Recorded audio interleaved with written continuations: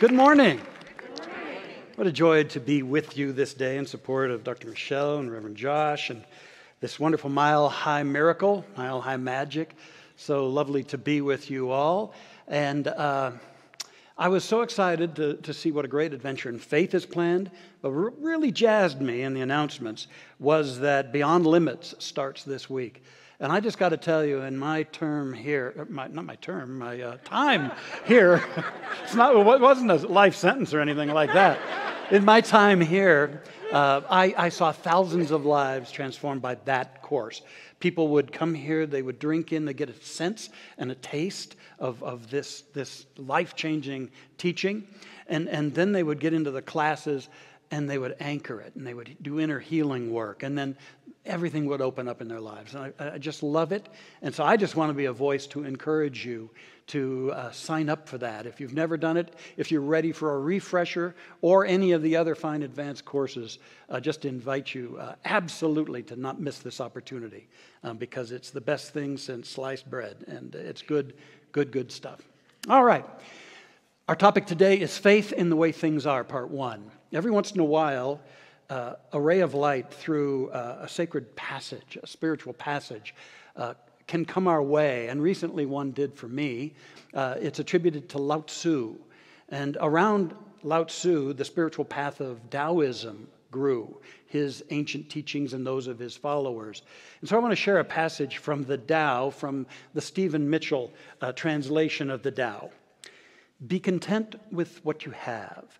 Have faith in the way things are, when you realize that nothing is lacking, the whole world belongs to you. So I invite us to ponder that today, throughout the week. And I'm going to address it even further next Sunday. The possibility of what it would be like to live having faith in that which is, faith in the way things are. Now, from the very get go, I want to tell you that faith in the way things are has a partner, and that is faith in who you are. They're partners. Now, we all know that things come along in our life, challenges uh, come along in our lives, and, and we're constantly called to remind ourselves of who we really are. Uh, it's like every challenge, every experience comes to us and says, you know, just who do you think you are in the face of this? You know, and we get to decide. Who am I in relationship to this that I'm embracing in my life? So it's very important if we're going to have faith in the way things are, is to continually uplift our faith in who we are. And there's a practice for that that I'm going to stress today and next week as well, a three part practice. It's about wake up, heal up, and open up. Wake up, heal up, and open up. You might notice that those first letters of those phrases spell who, which is a coincidence, I'm sure. Uh, but so, so we get to uh, wake up. It's important to wake up, continually wake up to the creative power we have in terms of how we assess things, how we name things, how we judge things, our perceptions, to wake up to that, because they're either empowering us or chaining us, taking us down or lifting us up to wake up to that creative power and where has my mind been going? Where have my thoughts been going? What have, how have I framed a certain person or situation in my life? Wake up to that. Don't be asleep to that because it's too powerful to fall asleep to that. And having awakened, then we can heal up. We can move ourselves out of fear, out of a sense of separation from our good, from our God, from one another, separation from answers or possibilities, and we can heal and open our hearts again. And then that leads us to the ability to open up, to open up to the creative power latent within every one of us, no matter what our path has been, and then also open up to the infinite possibilities that are always around us and for us. To wake up, to heal up, to open up is to continually anchor in a faith in who we are, that we might then embrace the world with a faith in the way things are. So, from the get go, I think it's important to accept that things are the way they are. Now, that seems radically obvious, but you know, many people struggle to have faith in the way things are, and in that, they then want things to be different than the way they are. Now, I think that's a natural thing, and we can have some compassion for it, but where does that put us in terms of who we are and what life can be? What it really tends to lead to is that we are constantly resenting what is, constantly resisting it, uh, constantly struggling with that which is. And as we do that over and over, we become people of complaint rather than creativity. We get locked into victimhood in our life, to a kind of limitation paradigm, and ultimately into discouragement uh, in our lives. And, and really, why is all of this? It's because we harbor a secret fear. And the fear is that people and situations have more power in my life than I do. We fear that we don't have access to true power, and thus other things are running our lives. And so then we rail against the way things are, the way people are, wishing it would all be different according to that which makes us feel better or more comfortable. Now, uh, the greatest metaphysician ever, Jesus, he said there's a couple of secrets to this, to your freedom and empowerment. First of all, judge not and resist not. He said, don't judge because you create your own personal prison via your judgments. Your own judgments are a prison. And don't resist because you're giving power to what you resist. And he said, There's a kingdom of heaven, a kingdom of spiritual empowerment within you. Go there. And then you don't have to make the world wrong. You can bring some light to it instead. So imagine what it would be like to move out of contention with things in your life or in the world, out of contention with people and situations and instead to bring a new faith in who you are, as well as a faith in the way things are, to the creative process of your life. Imagine that. It could be a breakthrough. We'll talk more about that. I want to leave you today with five keys uh, that are a part of waking up, opening up, healing in our life. And the first key is people and circumstances only have the power we give them.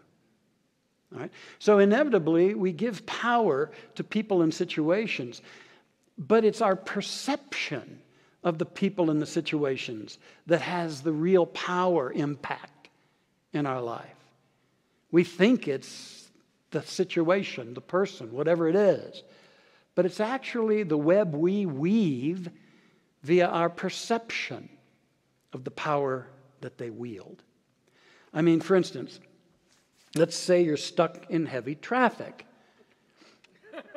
Now you've got choices as to your personal reality. And don't sit there looking pious at me. You know this is this is high level spiritual situations for us, right?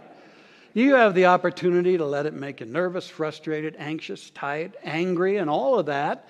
And in choosing that, we think the traffic is doing it to me. But of course, we know it's not. That's our relationship to the situation, and it has an immediate manifestation. It affects mind and emotions. Blood pressure goes up, it affects the body, and, and then who knows? Um, not only that, we might be impulsive and do something stupid, and then all of that because of the perception of the situation. Well, we do have the option to shift that perception and to accept it as it is. We may say, I wish it were different, but I accept this as it is. And then reassure ourselves that, you know, I, I accept the universe puts me where I need to be when I need to be there. And, and I accept that I'm going to be where I need to be when I need to be. All right, and, and maybe this is helping me avoid a deeper problem, an accident or something like that. I know of a person who, whenever they're in a line or whenever they have to wait, their personal practice is to do blessings for people. They just call up people they know, loved ones, or people that are struggling or challenging. They just send blessings, and they use that time for that. I mean, we have these options. We have options.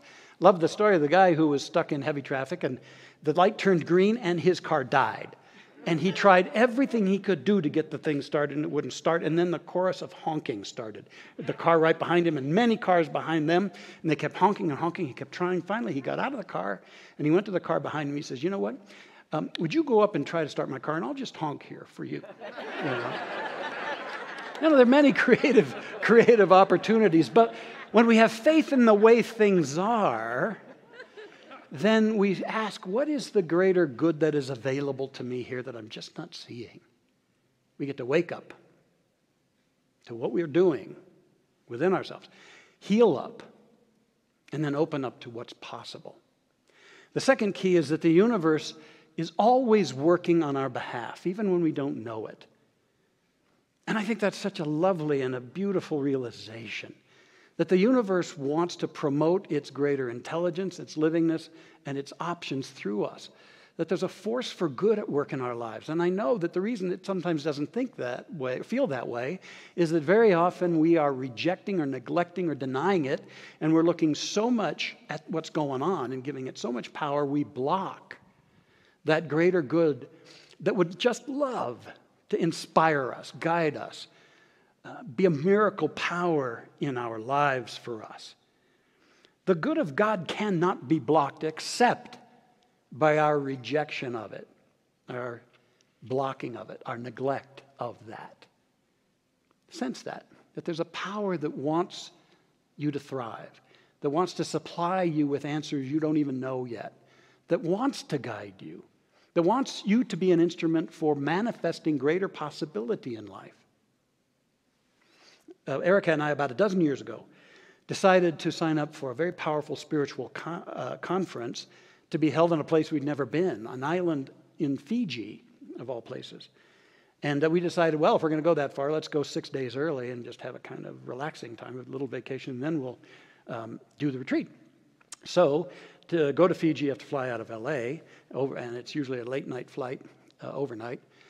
So we had a flight from Denver to LA, and uh, that flight got delayed, severely delayed, such that when we arrived in LA and got to the international desk to, to get on our flight, we were 15 minutes late.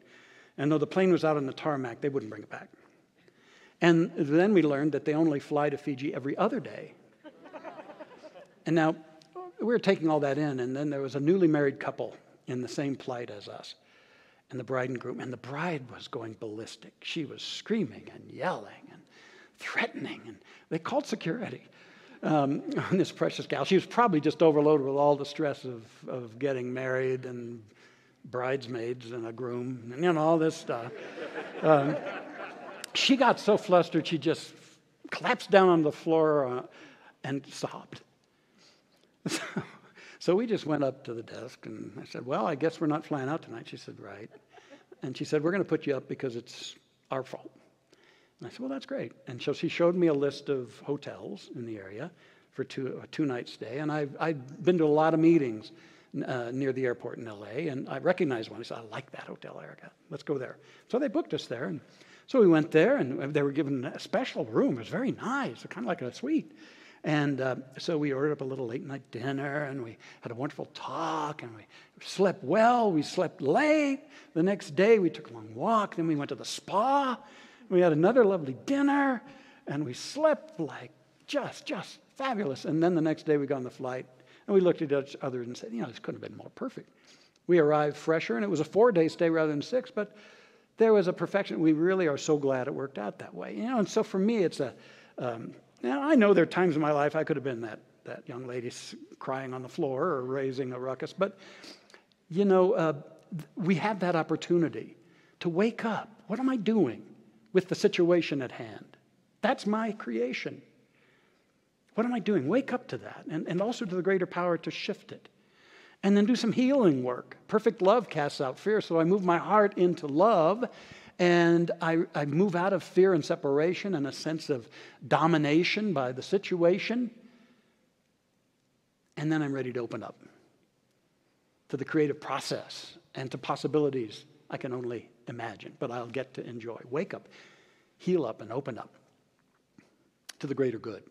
Now, the third key in all of this is having faith in the way things are places you in a power zone. And this is such a cool thing that if we, with great compassion, can look at how we overreact or how we tend to put the, the most negative frame around things and say, wait a minute, I'm capable of more. I'm going to wake up to this. And I'm going to know that right in the midst of what seems like negation is a possibility just waiting for someone to call it forth, to acknowledge it, and to let it come forth.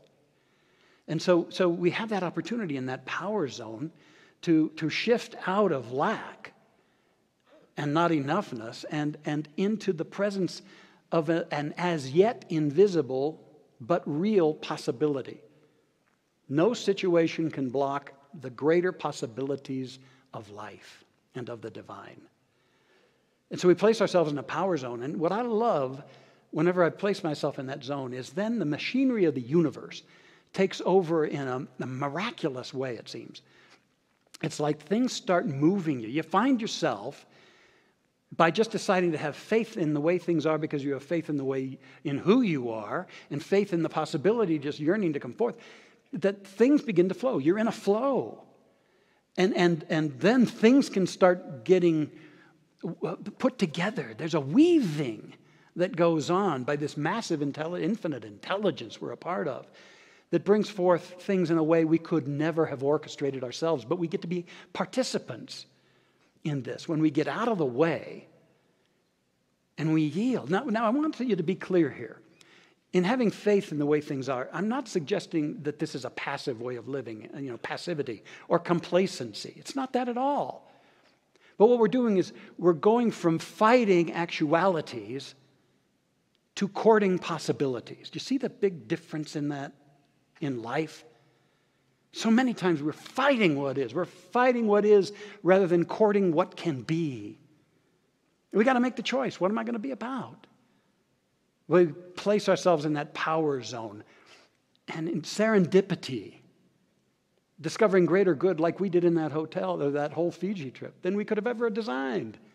But we were available to it. The universe could work with us in that. Think of Alexander Fleming, the great scientist, and he was given this project of working with soil samples to create kind of bi- bacteria that could support um, fertility in the soil and crops. And one of his samples became molded. There was this golden mold all over it. And most would have said, well, that didn't work. That's a, that's a failure. But he got kind of intrigued by it. And he explored it only to discover something he wasn't looking for penicillin which has made a huge difference in our journey. Now, he could have thrown it out, just like so many times we'd love to throw out aspects of life that come our way, but he dived into it, and something took him over. Let me tell you about a, a police officer uh, named Terrell Potter. He was a police officer in a small town in Alabama. And during his tenure there, he arrested a young lady named Jocelyn James not once, but several times. She was addicted, drug addicted, and she was a dealer as well. In fact, in the span of years from 2007 to 2012, she was arrested 16 times. Now, he sort of lost track with her. He had several interactions with her, and he lost track with her. Unbeknownst to him, to Officer Potter, during her final stay in prison, she had a transformational experience, a spiritual experience. She got sober and clean, and she then got out of prison and not only kept her life on, on the upswing, but then she created a nonprofit uh, called the Grace Place, Place of Grace, the Place of Grace, to help women get treatment.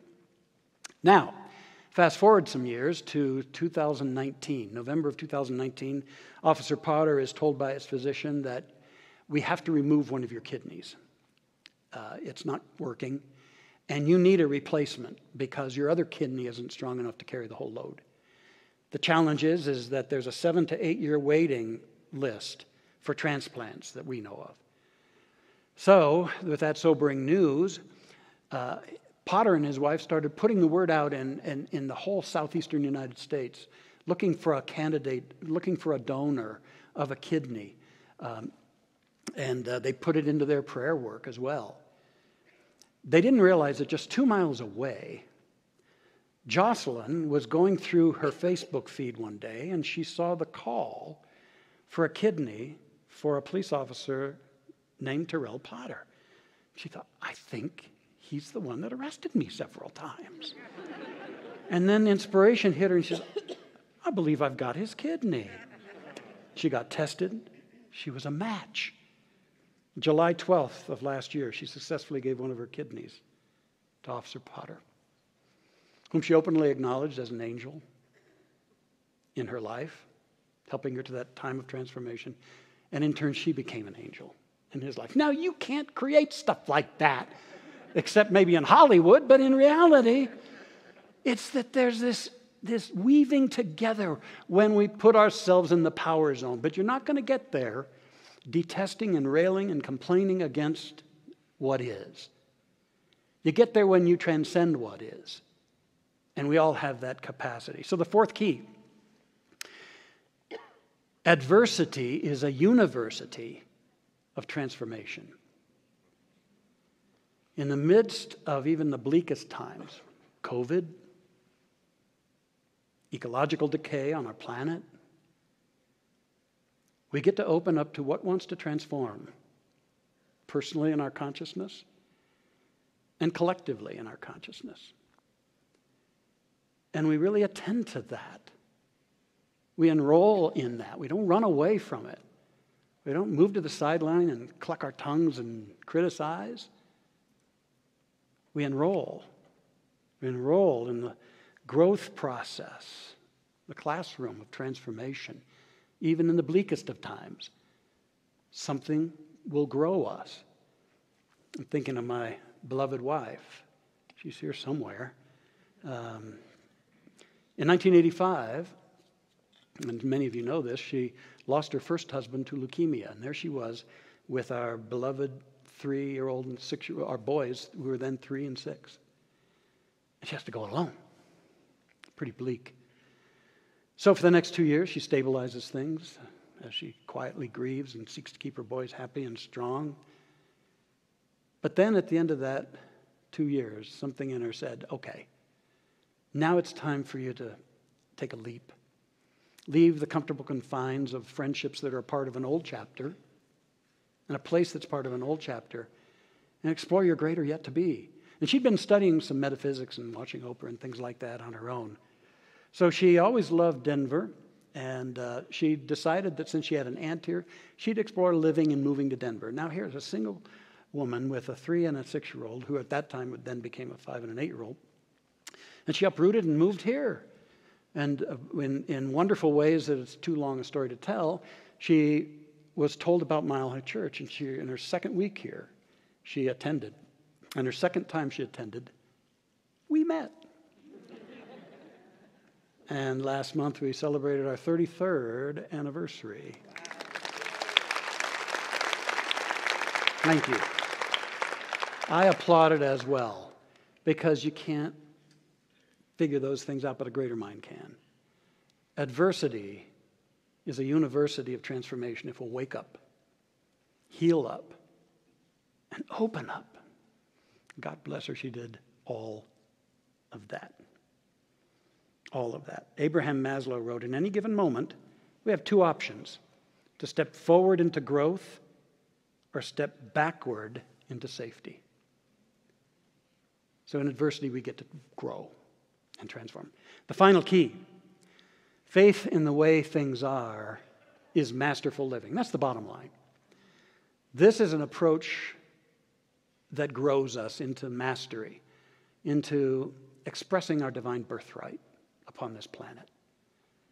We're here to, to evolve our consciousness. We're here to look at what consciousness is doing in our lives and in the world. And rather than resist those byproducts, we get to transform our consciousness. And so we cease our warring against what is and we start equipping ourselves to be the avenues for that which can be. We don't stick our head in the sand and say things aren't challenged in our life or in the world, but we know what we are called to do, and we know the effective thing to do. And that's what we get to do. Now, I declare that you wouldn't be here if you weren't a budding master. And I pray that you'll accept that, that you'll know who you are beyond your, your uh, judgments of your path or what's present in your life that you'll know that if you're interested in this kind of teaching, you're on a path of mastery. Not superiority over others, but mastery. meaning you are taking the reins of your consciousness and you are cooperating with the divine to grow you and to allow you to be the means by which life evolves life. You're fulfilling your calling. Who knows but that thou art come to the kingdom for such a time as this? It's probable that you signed up to be here to not only work on you and grow you, but to be a part of us, not just cowering or yelling at what's going on but taking it on and bringing forth higher possibilities, building the peace we want, taking care of our beloved, precious Mother Earth, building bridges, bringing forth the kingdom, the kingdom on earth as it is in heaven. These words by Wayne Dyer peace is the result of retraining your mind to process life as it is rather than as you think it should be. My invitation is ponder this this week. Look at how you can wake up to your immense creativity and your experience. Heal up. Move out of the fear and the resistance and the separation that you might then open up to shine your light and to bring forth great and wondrous things. Remember those words from the Tao. Be content with what you have. Have faith in the way things are when you realize that nothing is lacking, the whole world belongs to you. Let's take this into prayer. Ah, so supports me to know this. Remember this. We all get concerned for our life, for the world. Where shall that take us? May it take us not to our judgments and our anger, nor wishing it weren't. As we breathe deeply and quiet our minds, may it take us to our hearts. As we allow our hearts to open, may we remember who we are and ever shall be. Luminous light beings, conduits for the Spirit, activities of the Spirit, inventors and creators of new realities, healers, light keepers, every one of us. And therefore, we step into the power zone of deliberately, boldly, and humbly owning our ability to shape a consciousness that contains the answers. So we give thanks for this realization of the mighty action of the living Spirit in our minds, our emotions, our bodies. We no longer feel intimidated by problems, situations, conditions in our life or in the world.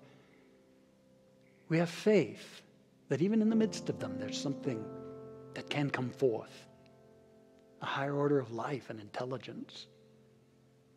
And we accept this with great joy, feeling the sense of freedom, sensing the beckoning to our greater good. Excited, excited and thrilled to see the wonder working power as we affirm the reality of higher good no matter what, anywhere and everywhere, especially within us. May we sense ourselves waking up again and again to the sanctity and the creativity of our consciousness, healing up, no longer fear based beings, cowering before situations. But moving into a higher space of love and truth that we might then open up. We feel ourselves opening up, letting our, our awareness soar, our consciousness expand, the welcome mat out for higher ideas, greater possibilities, and healing energies. We affirm that they are active now within us. And we're not doing this by our own might or forcing, we're allowing this power to work in, through, and as us. So I affirm that in this consciousness, breakthroughs attend every one of our lives. I affirm that peace is available everywhere upon our planet. That a higher bandwidth of awareness can allow us to build bridges, to bring healing energies to our precious Mother Earth, to restore the kingdom of heaven on earth as it is in heaven, on earth as it is in the mind of God. And it is through us that this shall happen. So I affirm our good here and now and always. We give thanks for it and wait with great anticipation for the wonder working power of God in our lives and in our world. And for this we stand in total resolute commitment. Thank you, Spirit. And we let this go into its creative action. It's alive and real within us and evolving around us. Thank you, Spirit. We're very, very grateful for the truth that sets us free. Together we declare, and so it is, and so I am, and so we are.